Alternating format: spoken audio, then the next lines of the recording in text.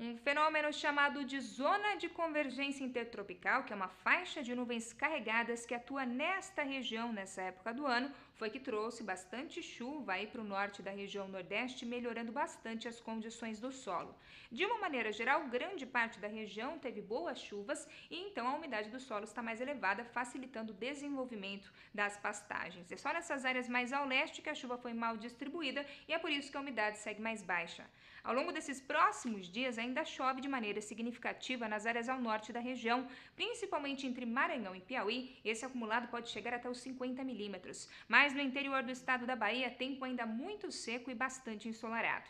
Até o dia 26 de abril, por lá, ainda não tem expectativa de chuvas muito significativas. É mais para o norte da região que as chuvas ainda podem atingir os 30 milímetros. O mês de abril também termina ainda com situação de tempo mais seco em grande parte do estado da Bahia e as chuvas, de uma maneira geral, já voltam a diminuir em toda a região.